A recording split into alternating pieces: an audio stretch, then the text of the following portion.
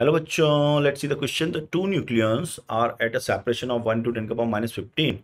The net force between them is F1. If the force, if both are neutrons, F2 is the force. Both are proton, F3 is the force.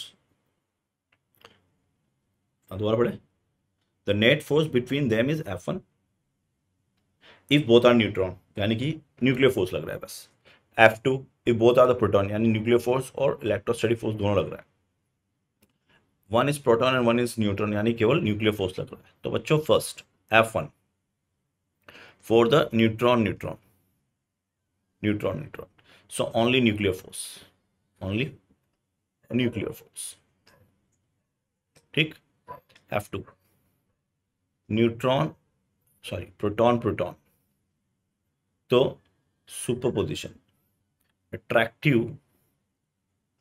nuclear minus repulsive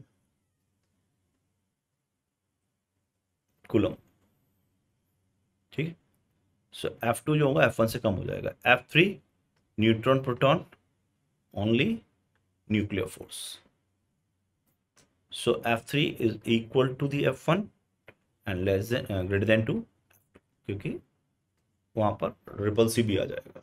so option check कर लें। D option is correct all the best